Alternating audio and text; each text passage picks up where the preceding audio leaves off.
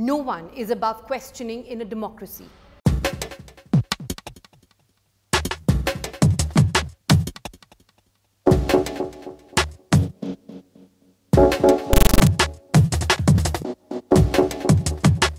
प्रधानमंत्री जी, सबसे पहले तो आपको बधाई। आपका पाँच साल का कार्यकाल लगभग पूरा होने को है और इस पूरे कार्यकाल के दौरान आपने एक भी प्रेस वार्ता संबोधित नहीं की है। संभवतः दुनिया के सबसे बड़े गणतंत्र के आप पहले प्रधानमंत्री हैं जिन्होंने ये कारनामा कर दिखाया है। इसके लिए आपको बधाई। लोकतंत्र में मीडिया की भूमिका चेक बैलेंस की है। पूरी दुनिया के राष्ट्राध्यक्ष प्रेस कॉन्फ्रेंस करके मीडिया के सीधे सवालों का जवाब देते हैं। लेकिन साल 2014 के बाद इस देश में एक नई परंपरा की शुरुआत हुई है एक नई संस्कृति का उदय हुआ है जहाँ मीडिया से सीधी बात नहीं की जाती है। First prime minister in the history of India who is too scared to face a press conference instead he prefers friendly interviews with cheerleaders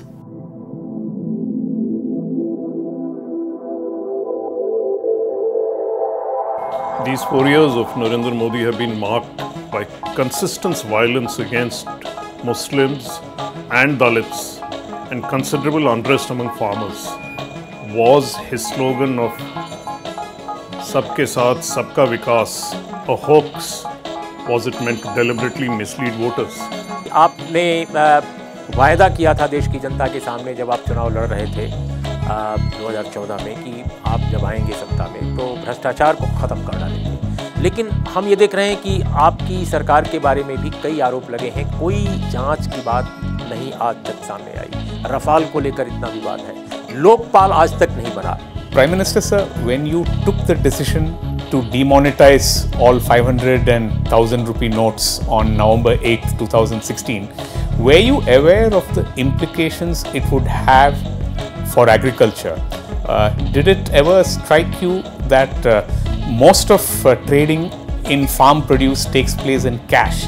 And what are the implications of withdrawing so much of cash at one go?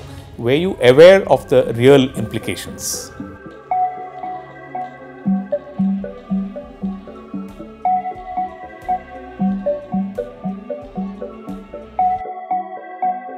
पहली बार ऐसा हुआ जब law makers यानी कि BJP के मंत्री Kathua gang rape में बलात्कार के आरोपियों के पक्ष में दिखाई दिए।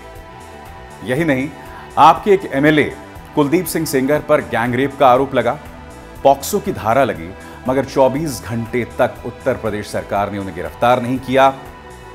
तो मेरा सवाल आपसे ये, मोदी जी, कि क्या महिला सम्मान, नारी सुरक्षा जैसे तमाम मुद्दे महज जुमला थे?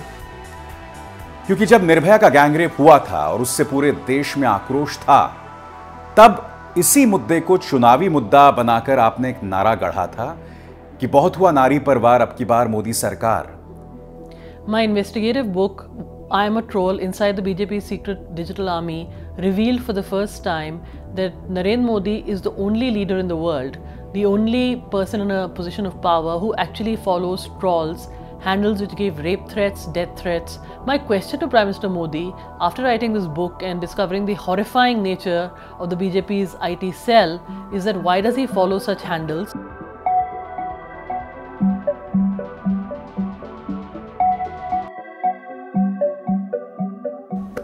During your 2014 election campaign, you, sir, made a promise to the people, na khaunga, na khane dunga.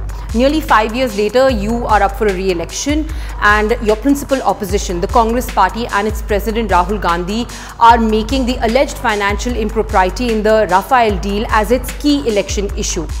Now, ideally, I would address this question to the defense minister, but it was you who went on to initiate the intergovernmental agreement with the French government. So, my question to you is that if your government did in fact negotiate a much cheaper deal for the Rafale fighter jets than the UPA, then why did you sign an agreement for only 36 jets when the initial requirement of the Indian Air Force was 126 fighter jets? तो प्रधानमंत्री जी, आपसे मेरा सवाल ये है कि जो press conferences ना बुलाने की संस्कृति आपने शुरू की है, क्या ये माना जाए कि जनता की प्रतिनिधि मीडिया के प्रति आप अपनी कोई जवाबदेही नहीं समझते और क्या कोई और सरकार आने के बाद जब आप विपक्ष में होंगे तो उसका मीडिया के प्रति यही रवैया आपको स्वीकार्य होगा प्रधानमंत्री जी, मेरा सवाल आपके आशावाद से ही निकला है। मैं आशावादी होकर ही आपसे पूछना चाहता हूँ कि अगर 2019 में आप दोबारा देश के प्रधानमंत्री बने तो क्या महँगाई कम करने, पेट्रोल, डीजल के दाम घटाने, हर साल दो करोड़ नई नौकरियाँ पैदा करने, रुपए की गिरती कीमत को संभालने विदेशों में पड़ा काला धन वापस लाने और चीन और पाकिस्तान को आँखें दिखाकर डराने के लिए आप उतनी ही मेहनत करेंगे जितनी आपने अपने इस कार्यकाल में की, या इससे भी दोगुनी मेहनत करते हुए इन सारे वादों को पूरा करेंगे।